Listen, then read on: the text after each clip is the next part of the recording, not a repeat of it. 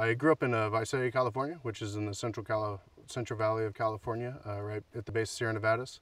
Um, went to school at Fresno State in the enology program in uh, 98, graduated in 01. Uh, went to the Central Coast, Paso Robles region, did some fun over there, kind of journeyman, did some odd work. And then uh, met Ken at a tasting and asked for an internship, and uh, it's all history from there.